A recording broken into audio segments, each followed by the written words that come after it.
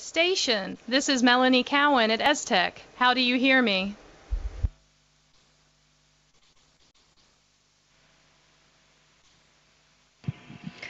And Melanie and ESTEC, great to hear you. I have you loud and clear. Welcome aboard. Well, thank you for having us, Samantha. I join you together with Madrid, Trento, and Vienna. We have many students that are anxious to hear about Mission X and ask you some questions. So please open the event. It's it's wonderful to have you all uh, all there in these different locations. And uh, Paxi says hello too, by the way. And uh, before we start, I uh, heard that something wonderful happened today, that Astro Charlie made it to the moon thanks to all the points that you uh, gathered. So congratulations. Thank you. We're now going to Trento for their first question. Hi Samantha, I'm Teo, I'm 12 years old, and this is my question. Who and how selects the menu for your mission?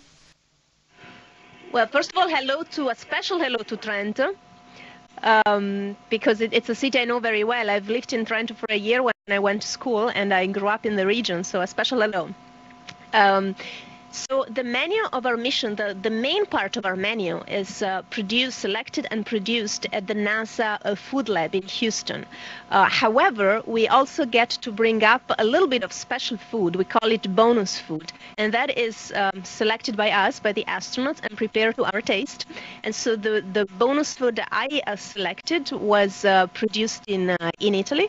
Um, and I put together the menus together with a um, nutritionist and a um, cook with whom we, sh we share um, a, a, you know the vision that food is really really important to make us stay healthy and feel well especially you know in a stressful environment like the space station so we have put together really really healthy ingredients but all those dishes are also delicious and a pleasure to eat Thank you. And Trento, your second question, please. Hi, my name is Matilde.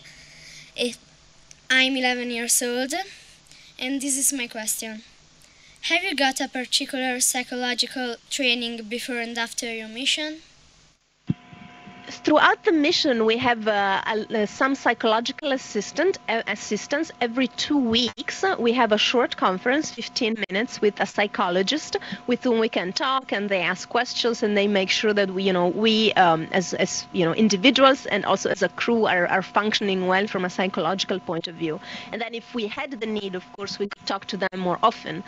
Um, before the flight, uh, we don't really um, work or talk to psychologists that much. Um, but we, we, we do a you know training that helps us in, in terms of team building and learning to work with each other, learning to know and appreciate each other before we come up to space and, and, and work for a long time in, in this confined environment together. Thank you. We're now going back to Trento. Trento, your next question.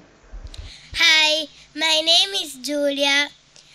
I'm eight years old, and this is my question. In the taste of food in space different than on Earth?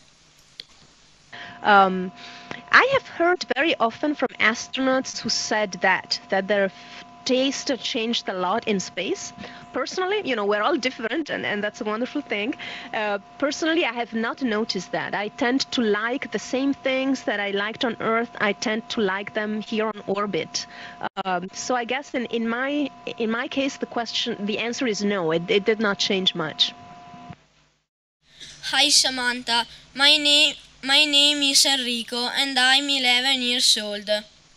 In what way do your physical proce processes change? Sleeping, eating, walking? Okay, yes, that's a that's a very interesting question.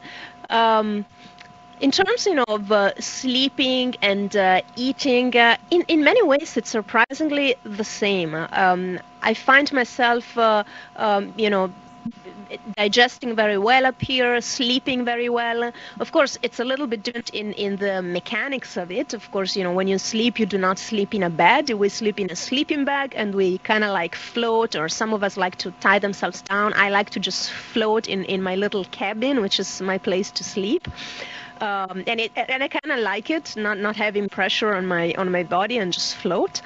Um, eating again in terms of swallowing and digestion it works just the same. But of course as we mentioned before uh, food is different. You know we have to rehydrate it. It comes out of pouches. Um, you know we have to take care that it doesn't you know float around or we don't uh, we have a lot of um, you know food um, uh, getting out of control.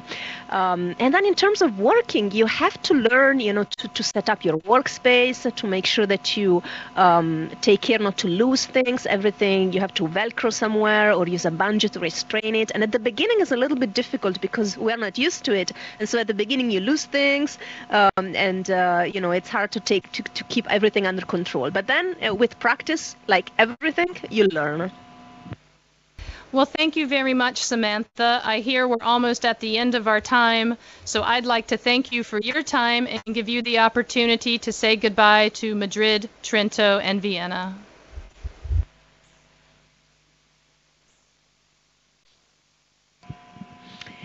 Hey, Madrid, Trento, and Vienna. How wonderful, guys, that you have participated in Mission X.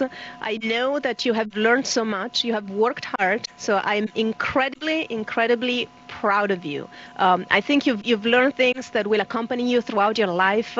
Um, you know, just just uh, hold on to those things that you have learned. Share them with your peers, with your friends, and uh, keep your passion for space. And I hope that many of you, maybe one day, I will meet as uh, as colleagues in the space business. That would be wonderful. So thank you, and uh, good luck to you. Well, thank you, Samantha. Everyone in the countries are cheering and smiling, and I think you have over 700 happy students today. They've had a wonderful day and will continue Mission X for a lifetime of fitness and good health.